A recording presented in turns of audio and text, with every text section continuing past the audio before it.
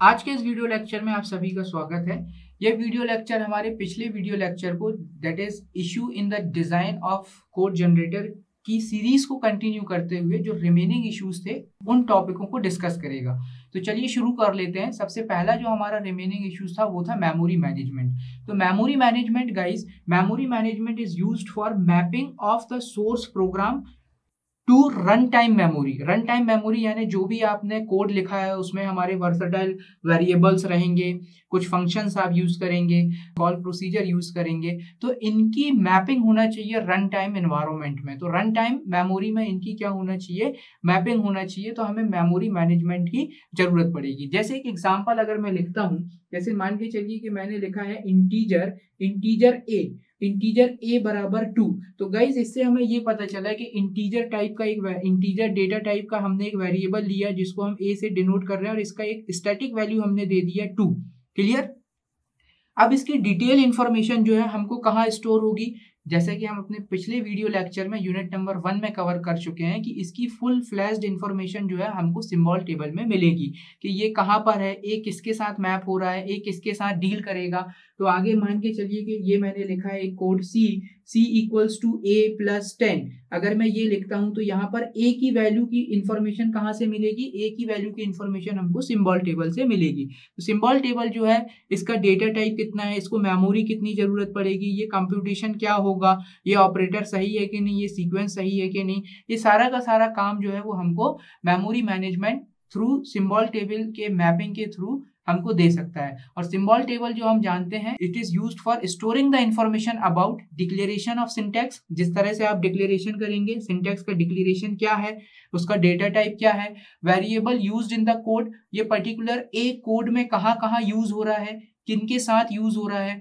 Type along with the address information इसकी जो information कहाँ है? एड्रेस इन्फॉर्मेशन क्या है? This all the related information related address it is already stored in the symbol table इसीलिए हमको प्रॉपर मेमोरी मैनेजमेंट की ज़रूरत पड़ती है। ओके. अब दूसरा जो हमारा जो डिज़ाइन जब हम कोड जनरेटर डिज़ाइन करें तो हमें ध्यान में रखना है, वो है इंस्ट्रक्शन का सिलेक्शन यानी इंस्ट्रक्शन का सिलेक्शन कि आप प्रॉपर इंस्ट्रक्शन को सेलेक्ट करें किसी भी कोड के लिए. तो एक एग्जांपल हम देख लेते हैं यहाँ पर. जैसे मान के चलिए, हमारे पास एक एक्सप्रेशन है, जो एक्सप्रेशन है A equals to B plus C A equals to B plus C अब इसके लिए अगर हम कोड बनाते हैं तो देखिए क्या बनेगा. सबसे पहले आप मूव कर लीजिए. मूव कर लीजिए, किसको मूव करेंगे आप? बी को। कहाँ पर रजिस्टर आर ज़ीरो में आपने इसको मूव कर लिया।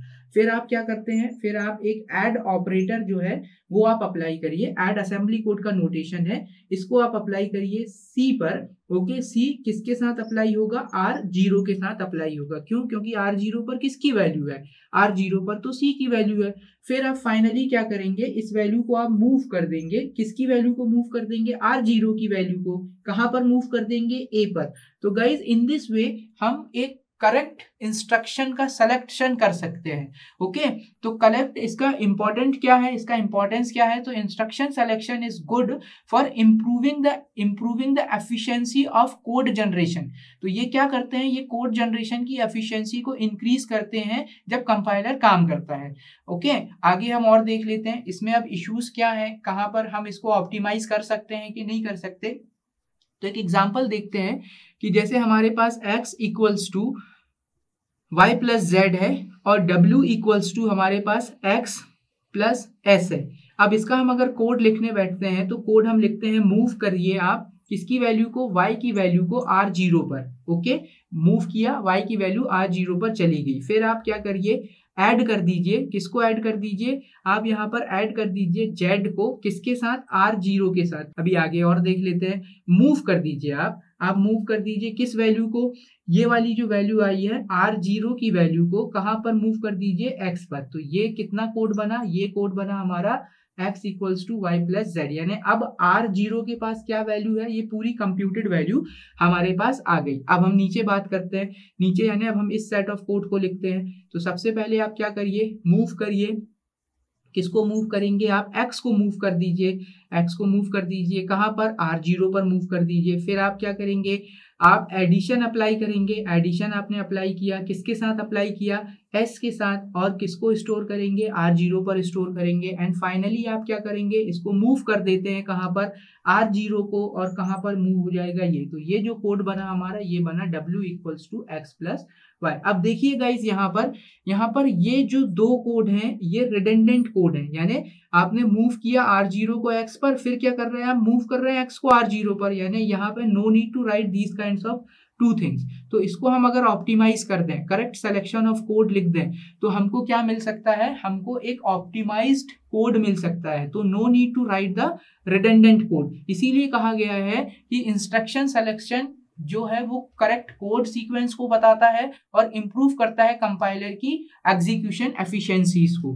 क्लियर तो यहाँ पर ये जो दो कोड हैं, इनमें से हम कोई एक कोड लिख सकते हैं। तो जो रिडेंडेंसी है, उसको हम यहाँ पर रिमूव कर सकते हैं। Okay okay? फिर आगे बात आती है रजिस्टर एलोकेशन की। तो रजिस्टर एलोकेशन गाइस जैसा कि हमने लेबलिंग एल्गोरिथम के माध्यम से देखा था कि हम अपने थ्री एड्रेस कोड के लिए जो भी हमने बनाया है, उसका हम ट्री बनाते थे, डेक बनाते थे और उसमें लेबलिंग एल्गोरिथम अप्लाई करके मिनिमम काउंट ऑफ़ रजिस्टर के उस पर्टिकुलर कोड सेगमेंट के लिए कम से कम कितने रजिस्टर की ज़रूरत पड़ेगी, उनका काउंट हम निकाल लेते थे। अब बात आती है कि मिनिमम रजिस्टर ऑफ़ काउंट तो निकाल लिया तो अब हम उसको एलोकेट करना है। तो रजिस्टर एलोकेशन यहाँ पर एक इंपॉर्टेंट चैलेंजिंग इश्यूज़ हो जाता है जब हम डिज़ाइनिंग का काम करते हैं कंपाइलर के कोड जनरेटर को।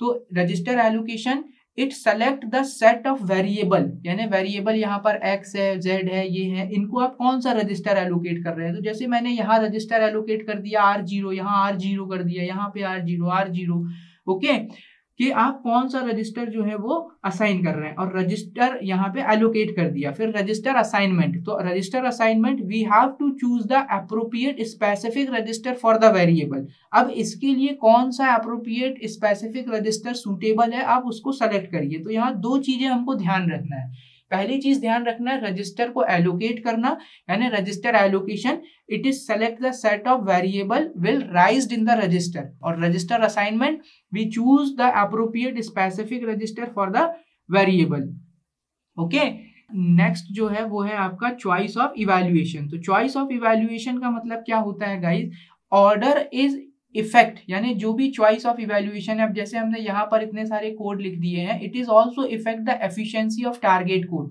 अगर हम इसी कोड के साथ, ये इस कोड के साथ कंपाइलर में काम करेंगे तो एग्जीक्यूशन एफिशिएंसी ऑब्वियसली थोड़ी सी हाई होगी. एज कंपेयर टू अगर हम इस कोड सेगमेंट को रिमूव कर देते हैं तो जो कंपाइलर की एग्जीक्यूशन एफिशिएंसी होगी वो थोड़ी सी लेस होगी इनके कंपैरिजन में। तो choice of evaluation so it is this is the order to effect the execution of target code computation तो आशा करता हूँ आपको ये वीडियो समझ में आया होगा।